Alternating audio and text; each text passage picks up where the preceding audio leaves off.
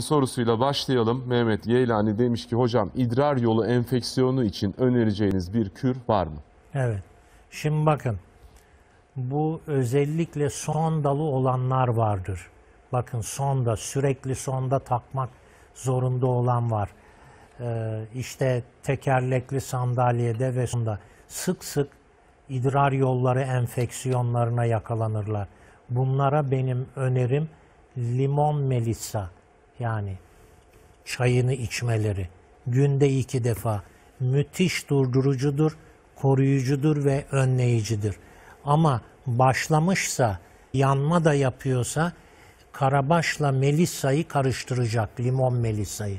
Eşit miktarda bir tutam karabaş yani 5-6 başak, bir tutam da yeşil e, limon melissa yaprağını alacak. Bir, bir buçuk bardak suda 5 dakika kaynatsın, ılıma bıraksın. Günde iki defa bunu yapıp içecek. Evelallah kronik idrar yolları enfeksiyonu diye bir şey kalmaz Hüseyin.